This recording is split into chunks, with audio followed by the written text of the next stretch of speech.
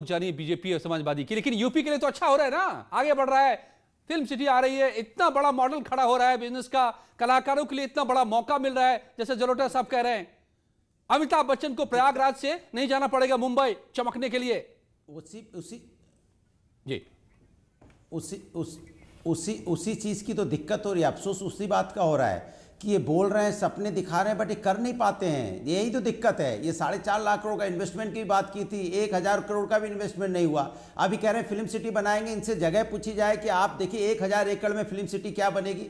भाई, कम से कम पाँच हज़ार एकड़, सात हज़ार एकड़ चाहिए, तब भव्य फ़िल्म सिटी बनेगी। वो 2022 में बाईसाइकिल आएगी, वही बना पाएगी। ये बीजेपी नहीं बना पाएँगे, ये तो सिर्फ़ बातें करते हैं। आज तक कौन सा काम इन्होंने किया है? छह महीने में गड्ढा मुक्त करने की बात करते थे, छह महीने तो क्या पूरे पूरी सरकार खत्म होने को आएगी? क्या गड्ढा मुक्त हो गया क्या? इन्होंने रोमियो स्कर्ट बनाया था कि अब महिलाओं पर कोई अत्याचार नहीं होगा। कहाँ चला गया रोमियो स्कर्ट? आप पता लापता हो गया रोमियो स्कर्ट। दिखाई नहीं पड़ता है। महिलाओं के अत्याचार उत्तर प्रदेश नंबर वन हो गया। ये कहते थे, हम आएँगे, अपराध मुक्त करा देंगे। अपराध का आलम एक एसडीएम सीओ के सामने गोली मार के हत्या हो जाती है अब। पुलिस वालों का इनकाउंटर हो जाता है। ये हालत उत्तर प्रदेश की हो गई है। मार्केटिंग करने के लिए हमने ये घर गिरा दिया वो घर गिरा दिया। जवाब! क्राइम खत्म कीजिए। आप करप्शन खत्म कीजिए। आप जवाब। खत्म कीजिए। आप खत्म कीजिए। तब बात होती है। ये सरकारी ही है। आप सिर्फ़ बोलते हैं या करेंगे अमित पुरी जी जिसको जेल में भेजना भेजिए लेकिन गुंडा राज तो खत्म कीजिए उत्तर प्रदेश के अंदर में सरेआम गुंडा राज चल रहा है यहाँ पे सरेआम बच्चों के साथ अन्याय हो रहा है। हथरस में अब बच्चे के साथ अन्याय होता तो बीजेपी अनुराग जी जवाब लीजिए अनुराग जी बोलने दीजिए अमित पुरी को आप जवाब लीजिए सवाल उठाए तो बच्ची के साथ अन्याय होगा तो बीजेपी का कोई नेता नहीं जाएगा लखनऊ में बच्ची के साथ अन्याय होगा तो बीजेपी का कोई नेता नहीं आएगा उन्नाव बच्ची के साथ अन्याय होगा तो सवाल कोई नेता नहीं बोलेगा। ये कहाँ की बात है भैया जहाँ जहाँ बच्चों के साथ अन्याय होता है बीजेपी का नेता नहीं बोलता है। रोज़गार के नए अवसरों क्यों नहीं बोलते आप? क्यों नहीं जाते आप बुलंदशहर क्यों नहीं गए थे भाई? क्यों नहीं हथरस गए आप? क्यों नहीं गए आप लखीमपुर खीरी जहाँ दो दो बच्चों के साथ अन्याय हुआ उसके बाद हत्या कर दी गई। क्यों नहीं गए? जौनपुर भारतीय जनता पार्टी के नेता जहाँ बच्ची के साथ अन्याय हुआ? क्यों नहीं गए आप आजमगढ़ जहाँ बच्ची के साथ अन्याय हुआ? क्यों नहीं गए भदोही गए जहाँ बच्ची के साथ अन्याय हुआ? कौशाम्बी क्यों नहीं गए? यही आपकी दिक्कत आप गोरखपुर बच्ची के घर क्यों नहीं गए? सुनते नहीं आप जवाब नहीं लेते पवित्र नगरी में बस में चलती बस में बच्ची के साथ अन्याय हुआ? तब भी बीजेपी के नेता नहीं गए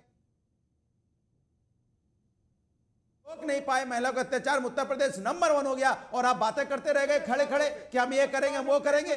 इसके मतलब आपने कुछ नहीं किया सिर्फ़ बातें करते हो और कुछ नहीं करते हो धरातल पे ज़ीरो पता नहीं कर देना। पता नहीं।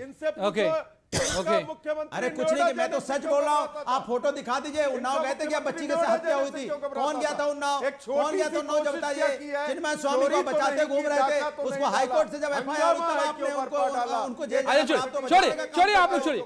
छोड़िए आप लोग छोड़िए विक्रम सिंह। आप गिराइए घर। कहा चिन्मय स्वामी का घर गिराया आपने। नहीं गिराया है ना? कमाल अनुराग भदौरिया आप लोग भी। खाली यहाँ बातें बात अरे अनुराग भदौरिया जी सुनिए विक्रम सिंह। विक्रम सिंह विक्रम सिंह शिवसेना नेता।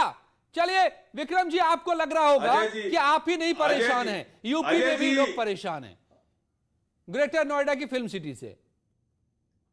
रखा इसलिए अजय जी, जी। ये ये बीजेपी वाले सिर्फ़ डिंडोरा पीटते हैं। कैसे इनको करना कुछ नहीं है। कैसे? इलेक्शन से पहले भी इन्होंने डिंडोरा पीटा कि हम पंद्रह लाख रुपए देंगे। हाँ। महिलाओं का अत्याचार देखो यूपी में दिन ब दिन बढ़ रहा है। इन्होंने हाँ, नारे में आप भी साथ थे। उस नारे में विक्रम सिंह आप भी साथ थे आप नहीं बच सकते। अगर ये आरोप है तो आप भी उसके हिस्सेदार हैं। ऑटो वाले इनको पीटने की इजाज़त दी जाए। हम उनको रोज़गार के अवसर प्रदेश में देंगे। और सम्मान के साथ और सम्मान के साथ देंगे। अब सुशांत की मौत पर पर्दा नहीं डाल पाओगे। के साधुओं आप क्या बताते हो? पालघर में नियत्ते साधु मरते रहे और आपका एसपी कहता रहा गोली चलाने की पावर नहीं होती। छोड़िए छोड़िए मैं अनुप जलोटा जी के पास जाता हूँ। छोड़िए आप लोग झगड़े में समय खराब कर देते हैं। अनुप जलोटा जी जलोटा जी मैं मैं नहीं मानूँगा। मेरे दर्शक मुझे नहीं माफ़ करेंगे। अगर आपको आऊँ आप आए और आपको मैं यूँ ही धन्यवाद कह दूँ तो ऐसे कैसे होगा? अब समय नहीं है। आखिरी मिनट है ये प्रोग्राम का। इतने शोर शराबे के बाद वो शांति तो चाहिए हमें आपकी वाली आपके उस भजन वाली।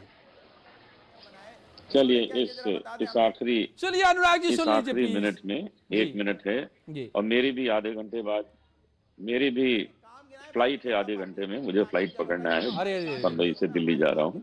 तो मैं एक लाइन आप सुनिए जलोटा साहब को सुनिए छोड़िए सारी बातें। मारिए गोली। शांत करें जलोटा साहब अपने ही यूपी के सुन लीजिए। हम्म, सुनिए।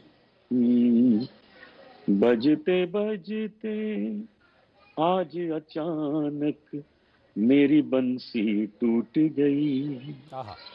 बजते बजते आज अचानक मेरी बंसी टूट गई। इस छोटी सी बात पे मुझसे राधा रानी रूठ गई। इस छोटी सी बात पे मुझसे राधा रानी रूठ गई।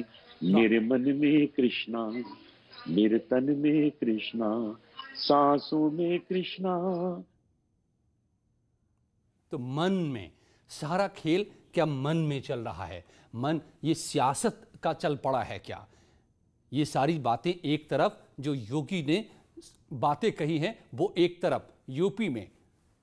एक फ़िल्म इंडस्ट्री बनेगी, ग्रेटर नोएडा में, फ़िल्म सिटी बनेगी तो ये वाकई एक इतिहास रचेगा, चाहे कोई कितने परेशान हो, बेचैन हो, डरे। धन्यवाद, आप सबका इतना ही वक्त था मेरे पास। अनूप जी, आपका बहुत बहुत शुक्रिया, आप सभी मेहमानों का। और जीनत के साथ, अब इस वक्त की खबरें। शुक्रिया जी। और आइए देश दुनिया की तमाम खबरों को देख लेते हैं फटाफट अंदाज।